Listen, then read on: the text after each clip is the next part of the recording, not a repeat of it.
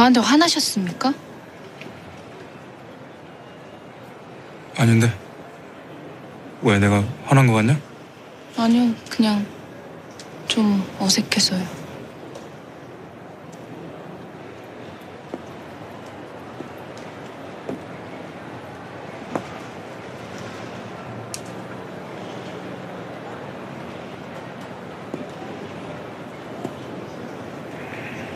그냥 거리를 찾는 중이라고 해두자.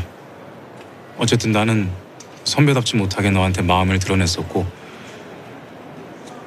그걸 수습해야 하는데 그 과정에서 네가 조금이라도 부담을 느끼면 안 되니까 너도 괜찮고 나도 괜찮을 그 적정선을 찾는 중이었어. 그 적당한 거리를 찾을 때까지만 네가 좀 봐주면 좋겠는데 그것도 힘들까? 아니요, 괜찮습니다. 그래.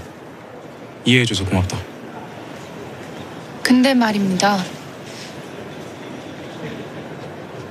저의 어디가 좋으신 겁니까?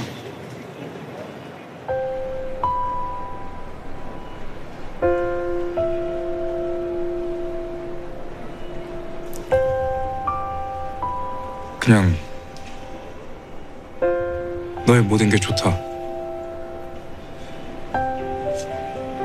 네 무뚝뚝함도 좋고, 네 까칠함도 귀엽고, 또 그 뭐냐 그 네가 하는 그 모든 행동들이 내 눈에는 다 다 좋아서.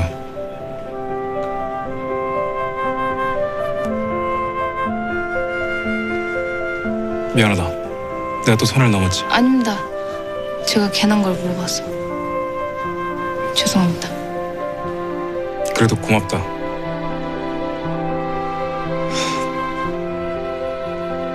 이렇게 말할 기회라도 줬잖아.